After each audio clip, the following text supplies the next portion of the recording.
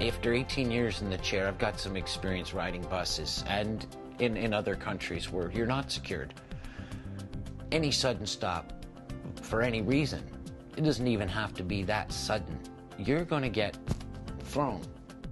I work for the Action Committee of People with Disabilities. We have several goals, um, and, and one of those is ensuring the integration of people with disabilities into society.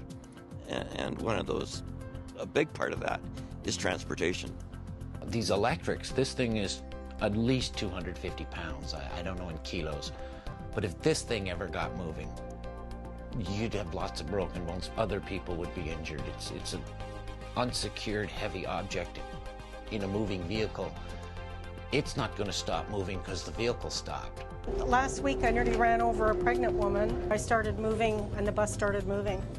And anyway, I didn't hurt anybody, but I was worried about hurting somebody. This, it's very, very important to the safety of the other passengers and the person in the chair that it is secured.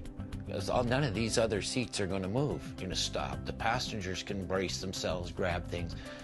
The person who's a disabled rider is at the mercy of how secure they are to the bus.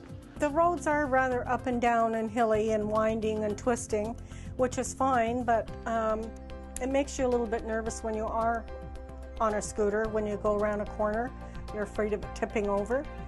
It would be a terrible thing if it did tip over.